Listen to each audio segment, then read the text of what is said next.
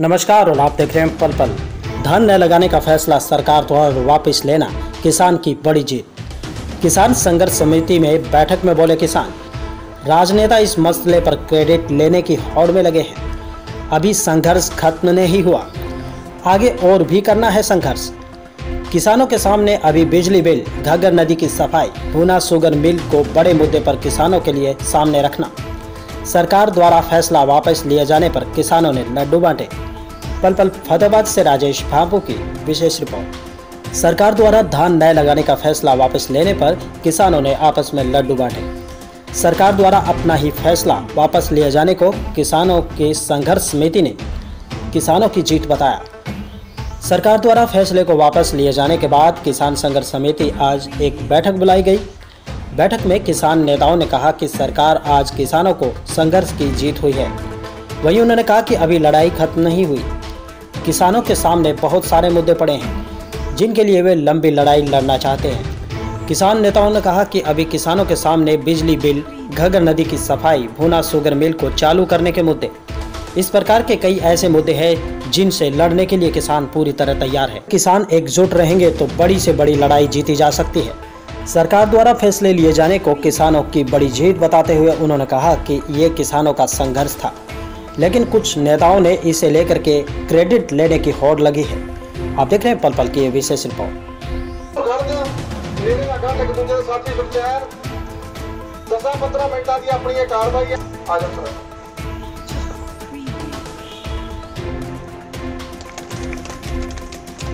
ਸਾਥੀ ਬਲਵੀਰ ਸਿੰਘ ਵੰਤ ਜੀ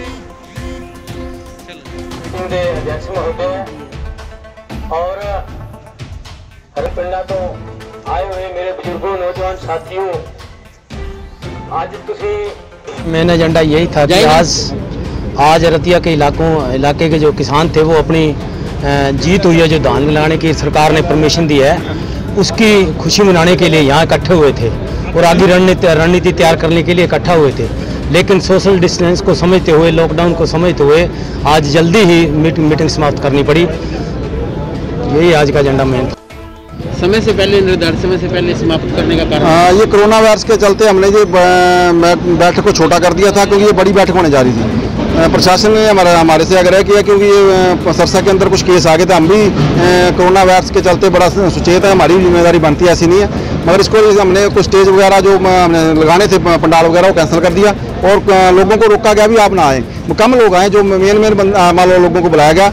हम हमने ये आज की बैठक जो किसानों ने जीत हासिल की है सरकार के ऊपर, उसके मद्देनजर रखते हुए बुलाई थी और अगली रणनीति के लिए हम तैयार हैं क्योंकि हमने बड़ी लड़ाई लड़ने के लिए, जो कर्जा मुक्ति की लड़ाई है, फ़सलों के भाव की लड़ाई है, गग्गर नदी को प्रदूषण मुक्त करने की लड़ाई उसको शुरुआत करने जा रहे हैं और फतेहाबाद हेडक्वार्टर पर हमने अपना दफ्तर खोलने का फैसला कर लिया और किसान संघर्ष समिति ने अपनी नई गाड़ी जो कई किसानों की सहयोग से हमने वो परचेज कर लिया और लगातार हम लोगों के बीच में हमारी कमेटी रहेगी और बड़ा आंदोलन जो रहते मसले हैं जैसे ट्यूबवेल कनेक्शन का मसला है गग्गर नदी का मसला है सारे मसलों को हम उठाएँगे और किसान की फ़सल फ़सलों के लाभ मिले खेती राय बंद बने ऐसी लड़ाई हम यहाँ किसान यहाँ के देंगे जो दान को लेकर फैसला सरकार ने वापस लिया है, किसानों का प्रदर्शन था, उसमें कई पार्टियाँ आ रही हैं जो अपना, इस पे अपना श्रेय मानती हैं। ये तो केवल केवल किसानों की जीत है।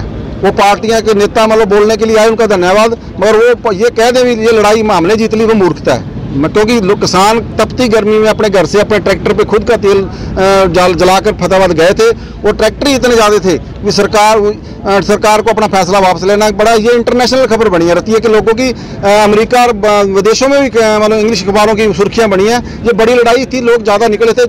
यदि कोई नेता ये कह दे, मैंने ये करा दिया फिर वो उसका मेरे मेरे हिसाब से तो मानसिक संतुलन ठीक नहीं है मगर ये लड़ाई सिर्फ़ किसानों ने जीती है ना किसी नेता ने जीती है। सरकार ये फैसला ले, वापस लेने पे मजबूर होगी। क्रेडिट किसका मानते हैं इसमें? मैं तो किसानों को क्रेडिट मानता हूँ जो घर से निकले हैं अपना जो जो लोग लड़े हैं क्रेडिट तो उनको मिलना चाहिए। भाषण देने वाले को क्रेडिट कहाँ नहीं मिलना चाहिए। मतलब अभी चापलूसी करने के लिए ठीक है कोई राजनीतिक लोग कह रहे हैं हमने जीता दी। हम ये कह दें ये लड़ाई तो हमने जीती हमने नहीं जीती ये तो हमारे हमारा संयोग हो सकता है मगर ये लड़ाई किसानों ने जीती दलाल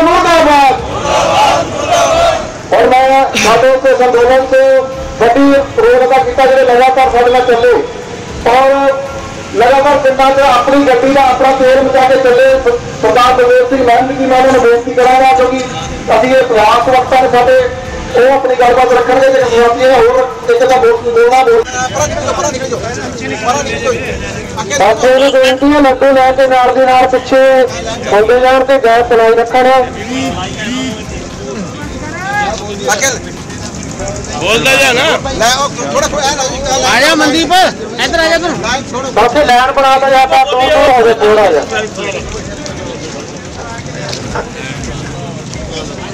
मेन एजेंडा यही था कि आज आज रतिया के इलाकों इलाके के जो किसान थे वो अपनी जीत हुई है जो धान मिलाने की सरकार ने परमिशन दी है उसकी खुशी मनाने के लिए यहाँ इकट्ठे हुए थे और आगे रणनीति रणनीति तैयार करने के लिए इकट्ठा हुए थे।